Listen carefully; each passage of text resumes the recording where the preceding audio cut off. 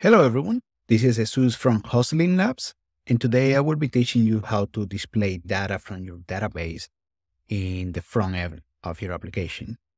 In this case, what we're going to be displaying is user data that we have saved in our application database.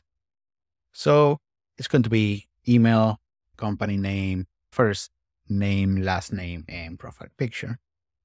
What we're going to do is we're going to add a repeating group to the page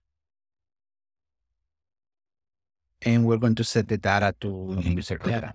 As you can tell, this is an application that is development. It's been in development for a little bit and it already has data in it. We're not going to create any constraints here. We're going to talk about constraints in a different video later on. We're going to close this and I like adding a group inside the repeating group. Let's just add a little bit more uh, control. We're going to add some spacing in between elements. It's going to be eight. And we're going to set the content to user data.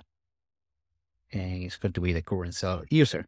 That means is that whatever is in this group will display what is for that specific user in that row of data in your database. This user will show different data than this user. So this is one row in the repeating group. This is one row in the repeating group and they're different. We're going to span this all the way down to the end. We're going to erase the minimum width and we're going to center it in the repeating group.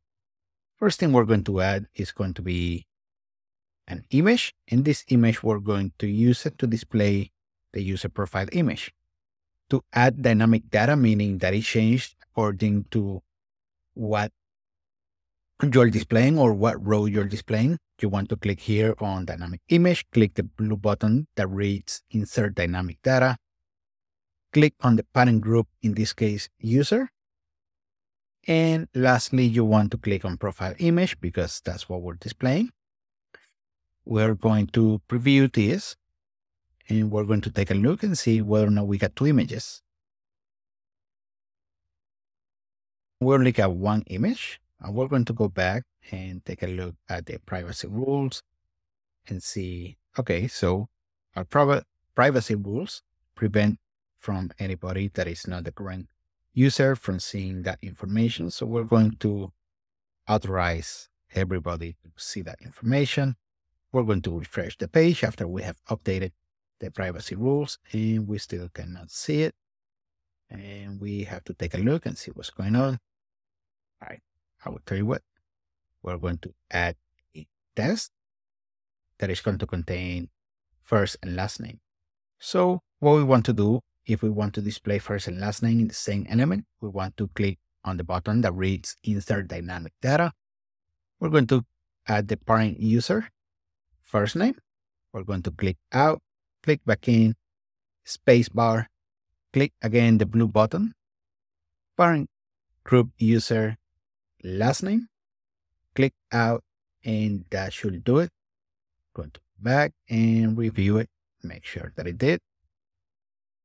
We are definitely running into an issue. And okay, so allow us to find the searches. Let's see if that fixes the issue.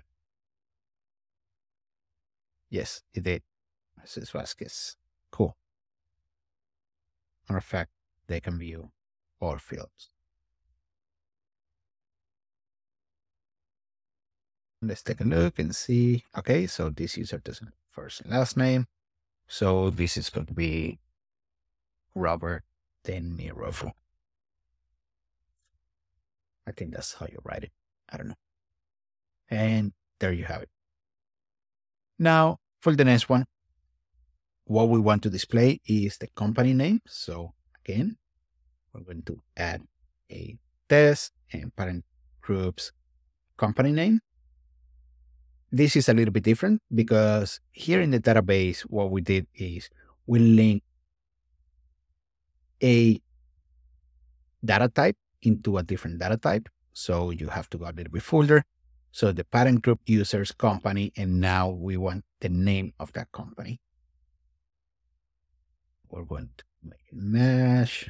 And this is not a design class, so please forgive the way it looks. But we do want this at top. And now lastly, we want the email address for a user. Now we're going to display this in the in the page. And as you can tell, we get the company, which is the same one for both. And we have their email addresses, first and last name with a space in between, and their profile picture. There you have it. If you have questions about how to display data into a repeating group, this is how you do it. There are many other things that you can do. This is more of basics than anything else.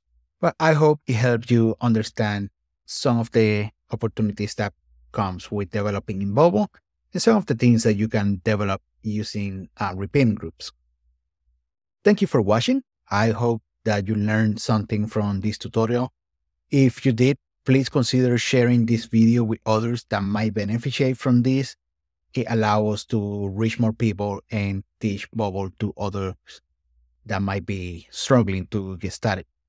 If you have a video that you would like me to produce, please consider leaving them down in the comment below.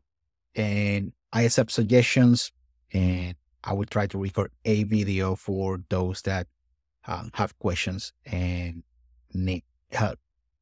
Please consider subscribing to this video. It helps me grow and reach more people. And I hope to see you during the next video.